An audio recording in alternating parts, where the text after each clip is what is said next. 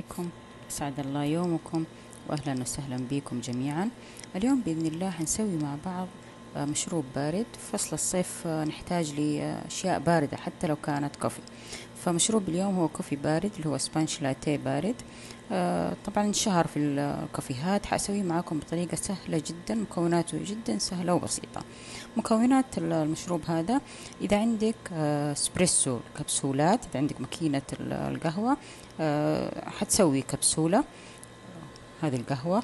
إذا ما عندك ملعقة بهذا الحجم. نسكافة العادي اللي هي القهوة سريعة الذوبان تحطي عليها هذا المقدار موية وتتركيها شوية آه، تدفى. عندي الحليب المركز هذا هحط منه ثلاثة ملاعق. وعندي حليب بارد. وإذا تحبي النكهة العربية أنا هحط قطعتين هيل والثلج طبعا بما إنه بارد فما حنستغني عن الثلج. طيب أنا الآن سويت الكوفي. وححط عليه ثلاثة ملاعق الحليب المركز. أنا ما ححط سكر حكتفي آه، بالحليب المركز لأنه حالي فحكتفي بثلاثة ملاعق منه. إذا تحبي يكون حالي زيادة آه، ضيفي سكر أو ضي آه، كثري من الحليب المركز هذا. خلاص؟ أنا الآن حتركه على جنب. يدفى أكثر من كذا لأنه قبل شوي سويته.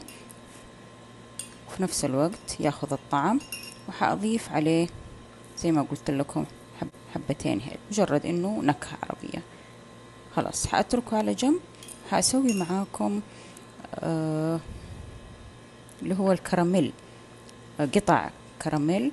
آه حنشوف كيف نسويه مع بعض. آه غالبا في الكافيهات يزينوا عليها يزينوها فوق الكوفي نفسه فوق الكوفي يحطوا زينة أو يتزين بها الكيكات الحلويات.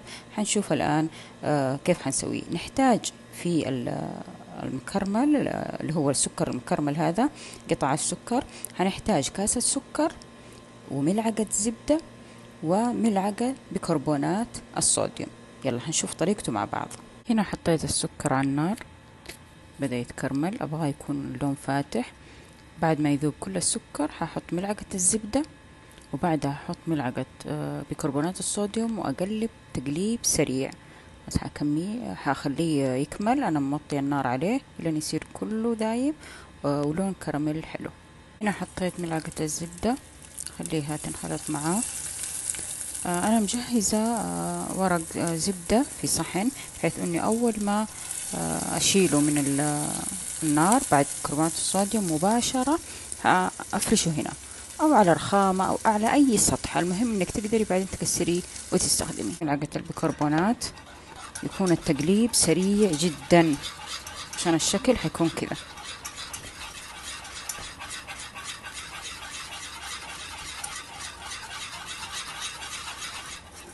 الآن ححطه على السطح اللي وريتكم. ولا أحركه ولا أفرده. خليه على الشكل اللي هو عشان أنا أبغاه قطع لكن ما هي متساوية. هنا شكل الكراميل.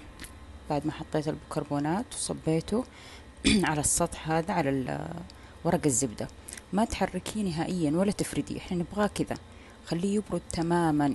عشان بعدين لما نكسره تكون قطع شيء كبير شيء صغير وهذا المطلوب. نزين بيه وجه الكوفي. هذا الكراميل بعد ما تركته يبرد تماما بسهولة يتكسر معك. مجرد إنك ما آه، تحط السكينة كذا أنه هش من جوا هش. خلاص يتكسر بسهولة. تحطيه على وجه الكافي تحطيه زينيه بوكيك حلويات جدا سهل.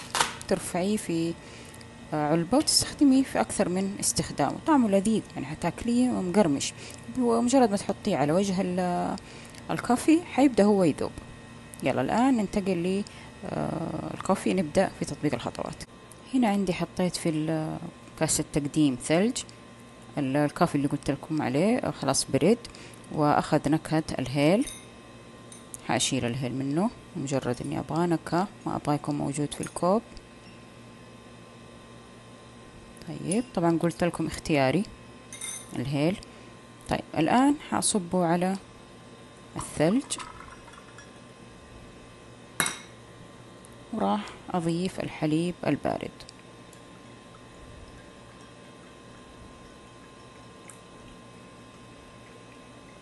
هزين قطع. التوفي كذا خلاص سبانش لايتين انتهى.